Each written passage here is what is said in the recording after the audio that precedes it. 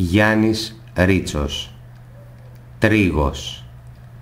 Άσπρα σπίτια, κάτασπρα. Τα βερικοκιά τα κεραμίδια. Γαλανά παραθυρόφυλλα. Τάλογα τα κανελιά μες στον αυλόγυρο. Τάσπρα μες στο πράσινο. Τα μπαλκόνια, μάλαμα και θάλασσα. Τα μουλάρια στον ανήφορο της πέτρας και τα γαϊδουράκια μες στα γκάθια ψάθες και μαχαίρια και καλάθια, μες στα μπέλια γέλια.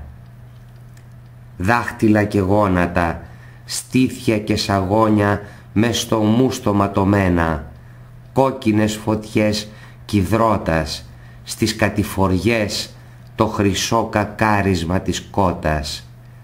Κι όπως γαλανίζει το βραδάκι, το μαβί, το βιολετί, Νάκη Παναγιά στη δημοσιά, πλάι στα κάρα, στα κουδούνια, στα σταμιά και στα κλαδωτά μαντήλια, νάτι η Παναγιά, να κρατάει στην ασημένια της ποδιά πέντε οκάδες κόκκινα στα φύλλα.